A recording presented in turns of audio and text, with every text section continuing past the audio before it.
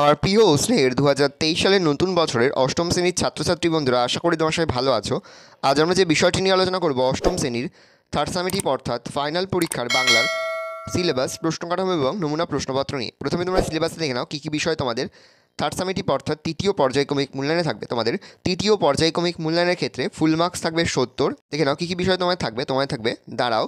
পল্লী সমাজ, গাছের কথা পাড়াগার দুপহর ভালোবাসি, গড়াই নদীর তীরে, জেলখানার চিঠি, স্বাধীনতা, আদাব, শিকল পড়ার গান, হরিচরণ বন্দ্যোপাধ্যায়, ঘুরে দাঁড়াও, সুহা, পরাজয়, মাসি বিশি টিকিটের অ্যালবাম, লোকটা জানলই না। আর ব্যাকরণ থাকে থাকবে বিশ্বভীষণ সর্বনাম অব্যয়, ক্রিয়া, ক্রিয়ার কাল, সমাস, সাধু ও চলিত, বাংলা প্রবাদ, এক শব্দের একাধিক অর্থে প্রয়োগ, পত্র রচনা থাকবে ভাষারচা বই থেকে দেওয়া হবে।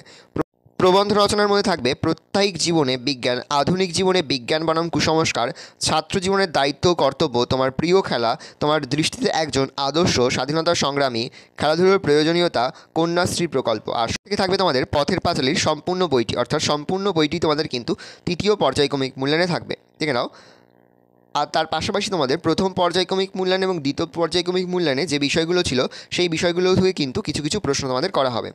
যেমন দাঁড়াও পল্লী সমাজ, গাছের কথা পাড়াগার দুপুর ভালোবাসি, গড়াই নদীতে এগুলো কিন্তু তোমাদের সেকেন্ড সামেটিভে হয়ে গেছিল। এবার কিন্তু প্রথম শুরু হচ্ছে জেলখানার চিঠি থেকে।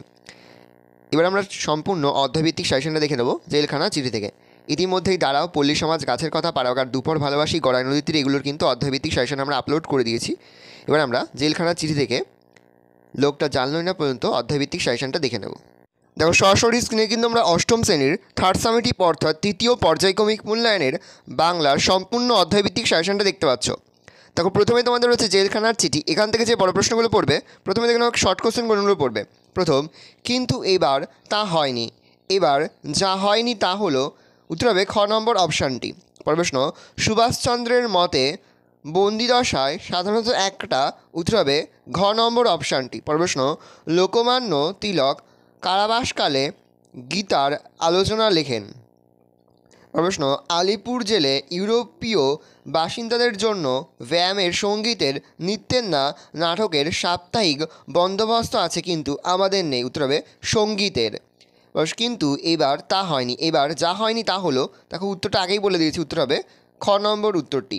দেখে নাও, এখান থেকে যে বড় প্রশ্নগুলো পড়বে, দুইয়ের একের প্রশ্নটি, দেখে নাও। আর দুয়ের ছয় নম্বর প্রশ্নটি। পরে তোমাদের স্বাধীনতা, এখান থেকে যে প্রশ্নগুলো পড়বে, আমাদেরও তো অন্য সকলের মতো সুযোগ, অধিকার, যোগ্যতা, বীরত্ব রয়েছে দুপায়ের ওপর দাঁড়িয়ে থাকার উত্তর হবে অধিকার। পরের প্রশ্ন, আগামীকালের আশ্বাস, রুটি, ভাত, কাপড় দিয়ে কি আজ বাঁচা যায়? উত্তর হবে রুটি। পরের প্রশ্ন, স্বাধীনতা একটি শক্তিশালী রক্তপ্রবাহ বীজ প্রবাহ ধর্মপ্রবাহ না শক্তি প্রবাহ উত্তর হবে বীজ প্রবাহ পরে রয়েছে কবি ল্যাংস্টন হিউজের প্রথম কাব্যগ্রন্থের নাম উত্তর হবে গ নম্বর অপশানটি। পরের প্রশ্ন, দুয়ের দাগে রয়েছে, নিচের প্রশ্নগুলির উত্তর নিজের ভাষায় লেখো, এখান থেকে যে বড় প্রশ্নগুলো পড়বে, প্রথম, স্বাধীনতা কোনো দিনই আসবে না। কোন পরিপ্রেক্ষিতে স্বাধীনতা কোনো দিনই আসবে না বলে কবির মনে হয়েছে, ও কেন? প্রশ্ন শুনে শুনে কান পচে গেল। কি শুনে কান পচে যায় প্রশ্ন আগামীকালের রুটি দিয়ে কি আজ বাঁচা যায়? মন্তব্যটির মধ্যে যে গভীর সামাজিক তাৎপর্য রয়েছে তা ব্যাখ্যা করো। প্রশ্ন স্বাধীনতা কোনোদিনই আসবে না। স্বাধীনতা লাভের মূল শর্তগুলি কী কী? পরে তোমাদের রয়েছে আদাব। এখান থেকে যে প্রশ্নগুলো পড়বে, প্রথম প্রশ্ন, মুহূর্তগুলি কাটে যেন মৃত্যু যন্ত্রণার মতো। পরিবেশ শহরে একশো দশ, একশো চুয়াল্লিশ, একশো পঞ্চাশ না একশো আটান্ন ধারা আর কারফিউ জারি হয়েছে। উত্তর হবে একশো চুয়াল্লিশ ধারা আর কারফিউ। প্রশ্ন, কী কাম করো? উদ্দিষ্ট ব্যক্তির পেশায় ছিল নায়ের মাঝি, কলের মজুর, কৃষক না তাঁতি? উত্তর হবে নায়ের মাঝি। প্রশ্ন, মাঝির বগলের পুটলিটা দেখিয়ে বলল, ওটার মধ্যে কি আছে? মাঝির পুটলিতে ছিল তার নিজের জামা কাপড় পরিবারের জন্য কেনা নতুন জামা শাড়ি, বোম বারুদ, খাবার দাবার। উত্তর হবে পরিবারের জন্য কেনা নতুন জামা শাড়ি। প্রশ্ন, সুতা মজুরের হাত ধরে মাঝি তাকে একটা ডাস্টবিনের পানবিড়ির পোড়াবাড়ির না কারখানার আড়ালে নিয়ে গেল। উত্তর হবে ডাস্টবিনের প্রশ্ন, নৌকা না পায় সাতরায়া পার হমু। গঙ্গা, পদ্মা, বুড়িগঙ্গা না মহানন্দা? উত্তর হবে বুড়িগঙ্গা। পরের প্রশ্ন, পরিচয়কে স্বীকার করতে উভয়ে নারাজ, কারণ পরিচয় জানাজানি হলে বিপজ্জনক কিছু ঘটতে পারে। এখান থেকে যে বড় প্রশ্নগুলো পড়বে, প্রথম, শহরে একশো চুয়াল্লিশ ধারা আর কারফিউর অর্ডার জারি হয়েছে। একশো চুয়াল্লিশ ধারা কি কখন কখন তা জারি হয়? লেখো, পরের প্রশ্ন, অনেকক্ষণ এই সন্ধিয়ান ও অস্বস্তিকর অবস্থায় দুজনেই অধৈর্য হয়ে পড়ে। দুজনে কে কে? তাদের পরস্পরের মধ্যে অস্বস্তিকর ও সন্ধিয়ান অবস্থা তৈরি হয়েছিল কেন?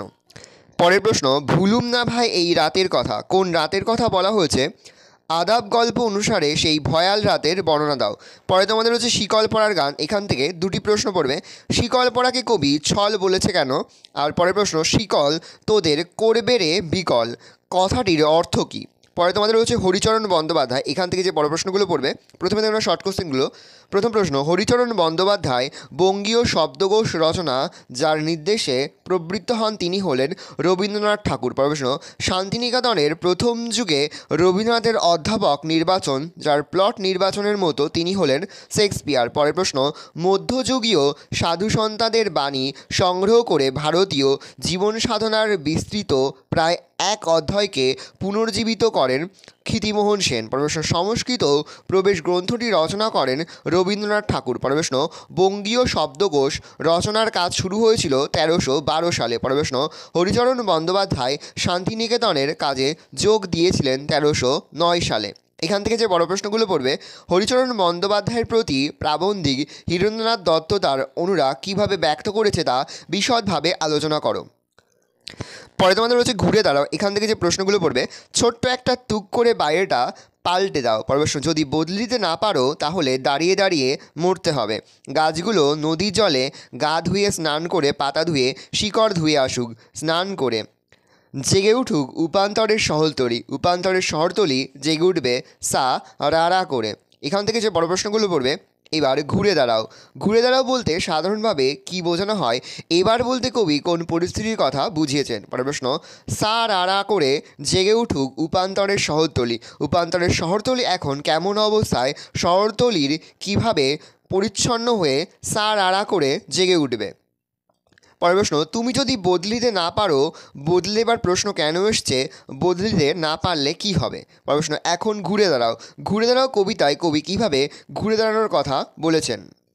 পরে তোমাদের রয়েছে সুভা এখান থেকে যে প্রশ্নগুলো পড়বে, প্রথম সুভাদের গ্রামের নাম কি ছিল? তো লিখবে, চণ্ডীপুর। পরের প্রশ্ন পরের প্রশ্ন সুভার উষ্টাধর ভাবের আবাসমাত্রে কচি পাতা কিশলয় পল্লব পত্র এর মতো কাঁপিয়া উঠিত। উত্তর হবে, কিশলয়। পরের প্রশ্ন প্রতাপের প্রধান শখ ছিল ছিপ ফেলে মাছ ধরা। পরের সুভার বাবা মা তার বিবাহ দিয়েছিলেন কলকাতায় এনে।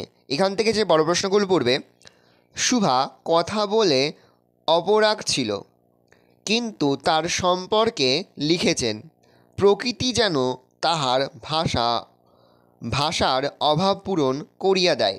প্রকৃতির প্রতিবেদন রচনা করো।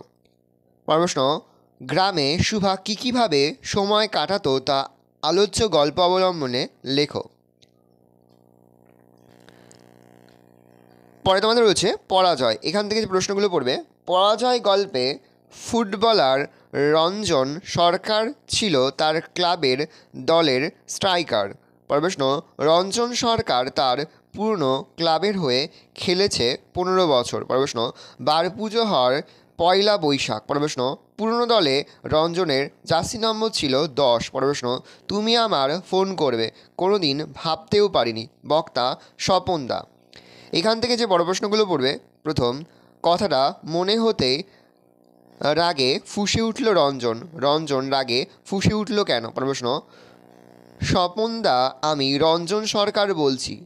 টেলিফোনে স্বপনদার সঙ্গে রঞ্জন সরকারের কি কথাবার্তা হয়েছিল?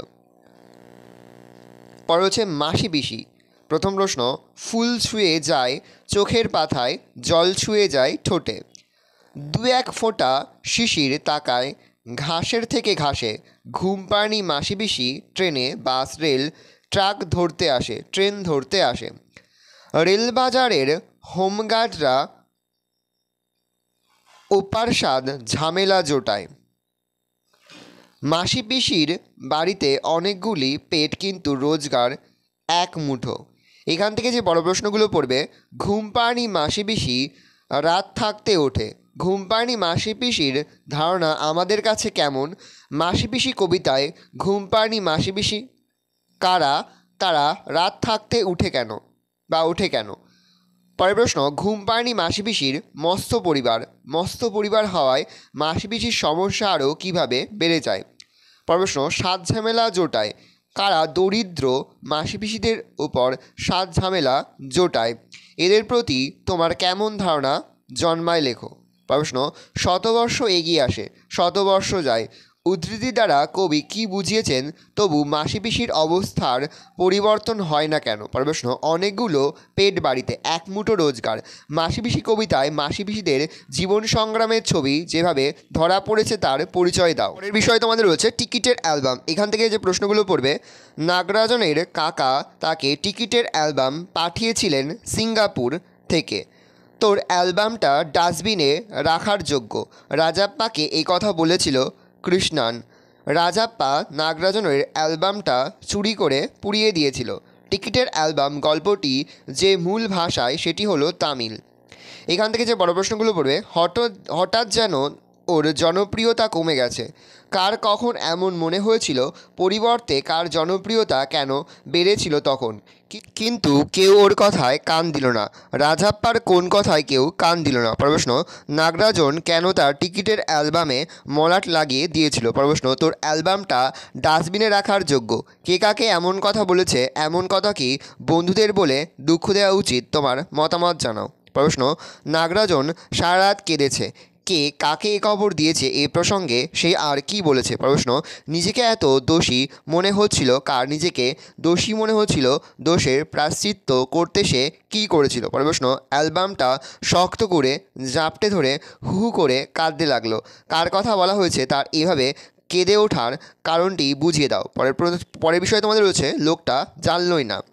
প্রথম প্রশ্ন, তার কড়ি গাছে কড়ি হলো লক্ষ্মী এলেন রন পায়ে দু আঙুলের ফাঁক দিয়ে কখন খসে পড়ল তার জীবন। প্রশ্ন লোকটা জানলই না কবিতায় আলাদিনের আশ্চর্য প্রদীপ বল- বলা হয়েছে লোকটার হৃদয়কে। প্রশ্ন, বাদিকের বুক পকেটটা সামলাতে সামলাতে লোকটার ইহকাল পরকাল গেল।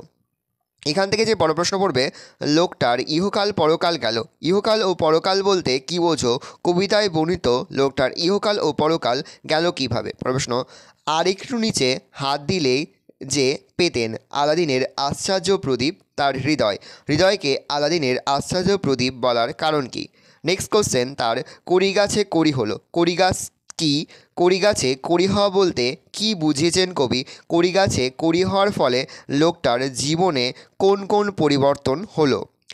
পরের প্রশ্ন রয়েছে, লোকটা জানলই না। লোকটা জানলই না কবিতায় কোন কথাটি লোকটির অজানা থেকে গেল। ভালো ভালো করে দেখে নাও। এই রয়েছে টোটাল তোমাদের অষ্টম শ্রেণির থার্ড সামেটিভ অর্থাৎ ফাইনাল পরীক্ষার বাংলার অধ্যায়ভিত্তিক সাজেশন ভালো করে অধ্যায়ভিত্তিক সাজেশনটা দেখে নাও। আশা করি ভিডিওটা ভালো লেগেছে। ভিডিওটা ভালো লাগলে ভিডিওকে লাইক করতে গেলে ভুলবে না। আর আমার চ্যানেল নতুন হাওত লাল কালার সাবস্ক্রাইব প্রেস করে পাশে বেল আইকনটা প্রেস করবে। যখন নতুন কোনো ভিডিও আপলোড করি, সবার ফার্স্ট নোটিফিকেশন তোমরা পেয়ে যাও। আশা করা যায় প্রতি বছর নেই, এই বছরও তোমরা আমাদের সাজেশন অংশ থেকে সমস্ত প্রশ্ন কিন্তু কমন পেয়ে যাবে। সেহেতু প্রতিনিয়ত যে অধ্যায়ভিত্তিক সাজেশনগুলো আমরা তোমাদের কাছে তুলে ধরছি, সেই অধ্যায়ভিত্তিক সাজেশনগুলো কিন্তু খুব ভালো করে ফলো করো। তাহলে দেখবে প্রতি বিষয়ের পরীক্ষায় খুব ভালো হবে। তোমাদের সকলকেই জানাই আগাম পরীক্ষার অনেক অনেক শুভেচ্ছা এবং অভিনন্দন। আমরা কিন্তু ইতিমধ্যে অষ্টম শ্রেণির প্রতি বিষয়ের সিলেবাস প্রশ্নকাঠামো এবং নমুনা প্রশ্নপত্র কিন্তু আপলোড করে দিয়েছি। তোমরা এখনও পর্যন্ত সেই ভিডিওগুলো না দেখে থাকো ভিডিওগুলো কিন্তু তাড়াতাড়ি দেখে নাও। তোমাদের সকলকেই জানাই আগাম পরীক্ষার অনেক অনেক শুভেচ্ছা এবং অভিনন্দন। একেবারে ভিডিও শেষে স্ক্রিনে তোমরা একটা প্লেলিস্ট দেখতে পারবে। তার উপরে ক্লিক করলেই সমস্ত ভিডিওগুলো কিন্তু তোমরা পর পর দেখে নিতে পারবে।